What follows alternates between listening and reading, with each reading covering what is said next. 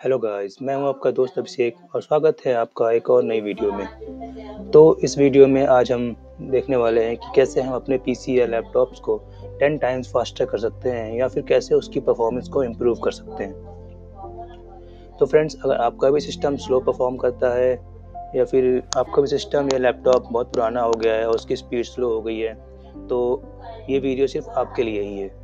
आप इस वीडियो को एंड तक देखिएगा ताकि आप कोई भी स्टेप मिस ना कर सकें। तो चलिए शुरू करते हैं।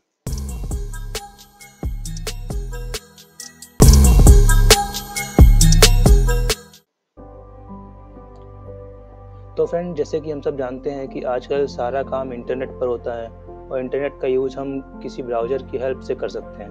लेकिन क्या आपको पता है कि हम जो भी वेबसाइट्स या पेज इंटरनेट पर ओपन करते हैं जो कुछ भी सर्च करते हैं तो जो भी हम ब्राउज़र यूज़ कर रहे हैं, वो ब्राउज़र क्या करता है उन चीज़ों की एक हिस्ट्री क्रिएट कर लेता है और हिस्ट्री क्रिएट करके उसको हमारे सिस्टम में कहीं पर स्टोर करता रह, करता रहता है। ठीक? और उसके साथ ही जब भी हम कोई नई वेबसाइट ओपन करते हैं या कोई नया पेज ओपन करते हैं तो आपने कभी कभी देखा होगा कि नया वेबसाइट ओपन करने पर नीचे आपको एक ऑप्शन आता है एक्सेप्ट कुकीज़ का। मैं आपको यहाँ दिखा दूँगा स्क्रीन पर। और उसके अलावा आप नो, आपने नोटिस किया होगा कि जब हम कोई पेज फ़र्स्ट टाइम लोड करते हैं तो जब वो पेज फ़र्स्ट टाइम लोड होता है तो लोड होने में बहुत थोड़ा टाइम लगाता है। मतलब कि पाँच से दस सेकंड लगते हैं। वही जब उस पेज को एक बार लोड होने के बाद कट करके दोबारा लोड करते हैं तो वो पेज तुरंत लोड हो जाता है तुरंत ओपन हो जाता है। तो ऐसा क्यों होता है? क्या आपने कभी सोचा है? तो आज हम बात करेंगे इन्हीं चीज़ों के बारे में ठीक? तो चलिए जानते हैं कि ऐसा क्यों होता है। तो यहाँ पर तीन चीज़ें हैं जिसकी वजह से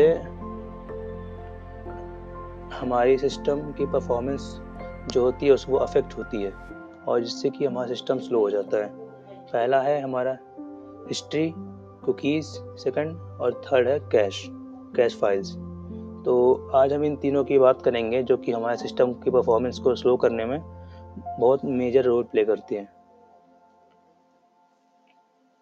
तो सबसे पहले हम बात करेंगे हिस्ट्री की। हिस्ट्री क्या होती है?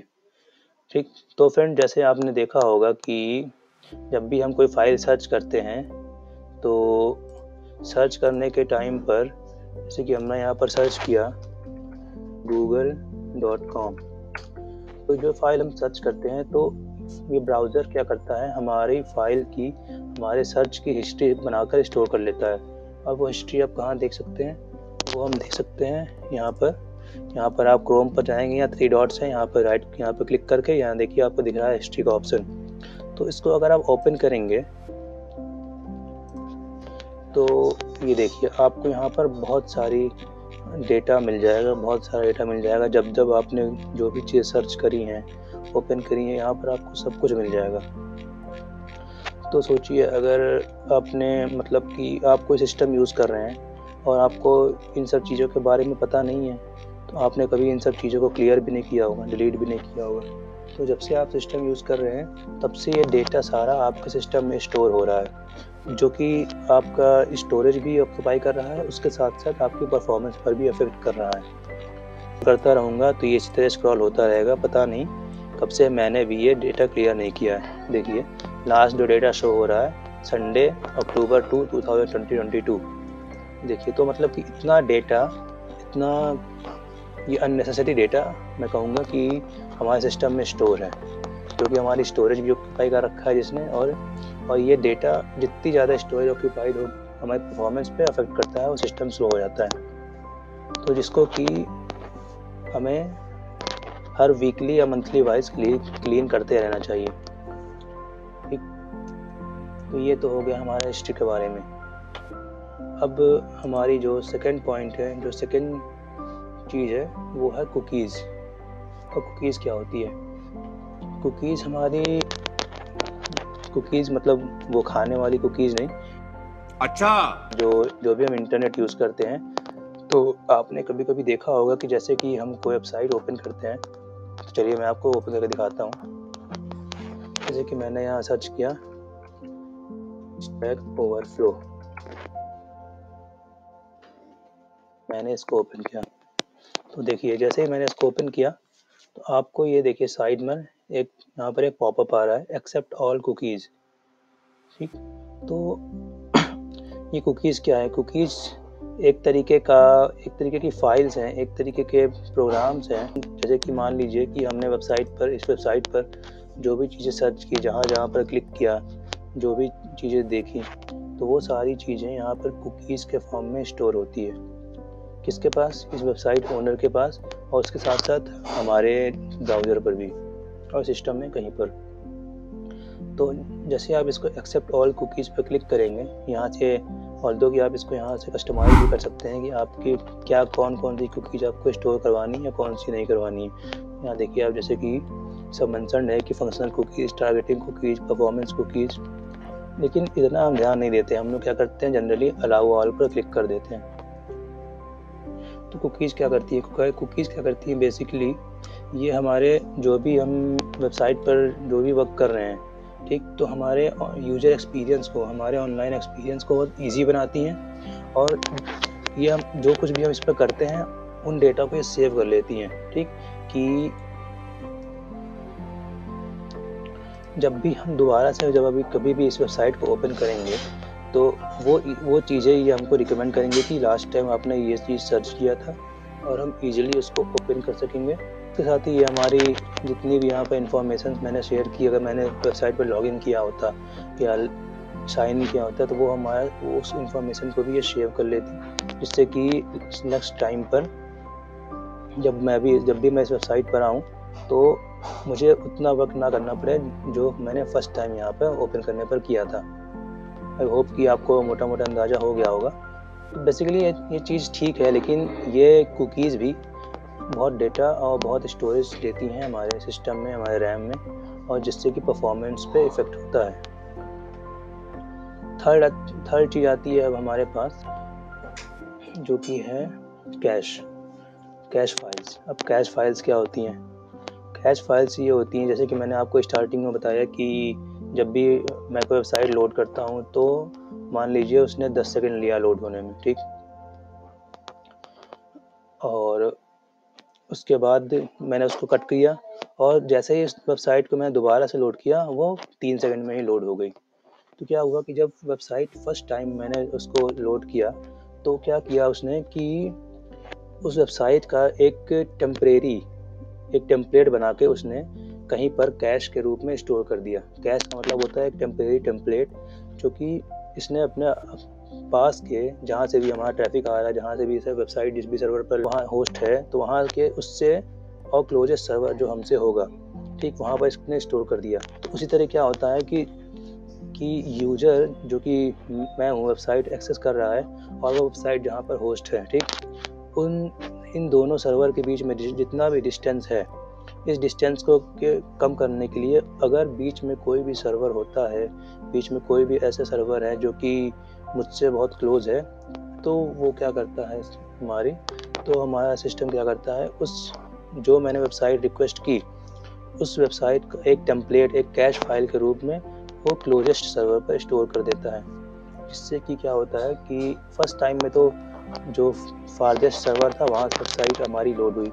लेकिन जब हम दोबारा से लोड करते हैं तो सिस्टम देखता है कि हमारा सर्वर ये चेक करता है कि क्या ये फ़ाइल पहले से इसने लोड करी है।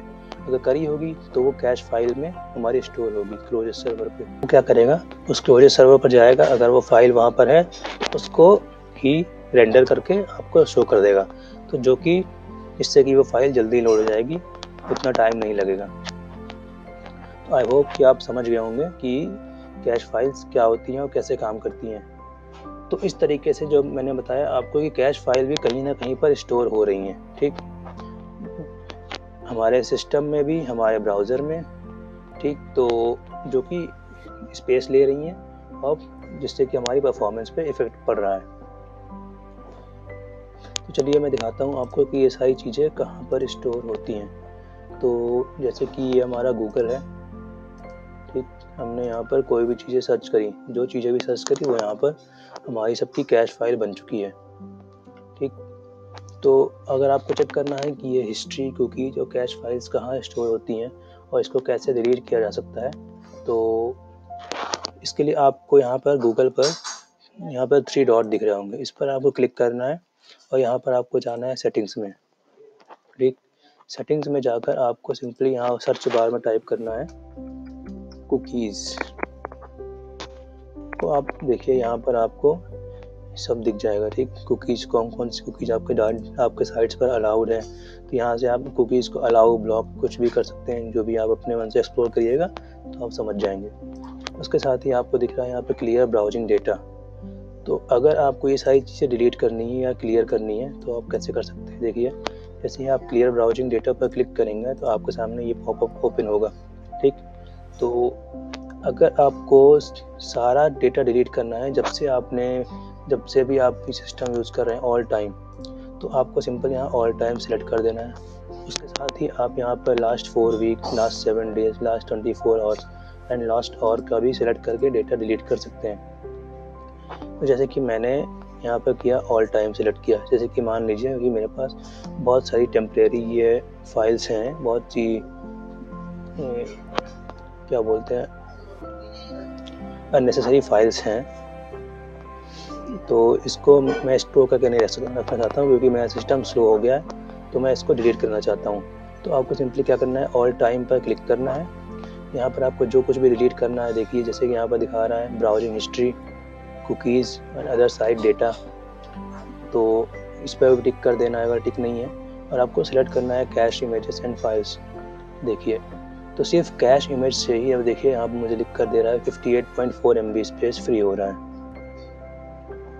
और उसके साथ ही आप ये भी देख सकते हैं, यहाँ लिखा है साइट्स में loads more slowly on your next visit तो इसका मतलब कि कैश फ़ाइल से क्या होता है कि हमारी साइट्स फास्ट लोड होती हैं, ठीक? तो क्या करना है आपको? सिंपली यहाँ पर क्लिक करके क्लियर डेटा कर देना है। क्लियर डेटा करेंगे।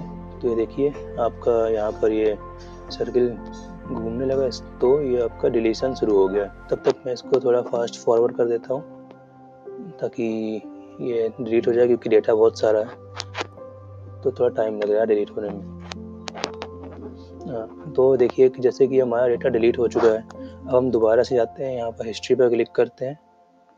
तो आप देखेंगे, यहाँ पर कुछ भी नहीं आ रहा है।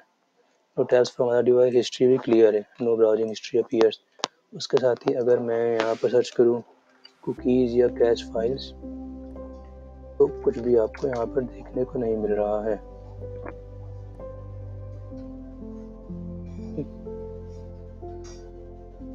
कुछ भी क्लियर नहीं हो रहा ये देखिए क्योंकि मैंने दो टैब्स ये ओपन कर रखे हैं, इसीलिए ये दो हिस्ट्री आज की जनरेट होगी तो इस तरीके से आप कैश फाइल्स, कुकीज और हिस्ट्री को डिलीट कर सकते हैं।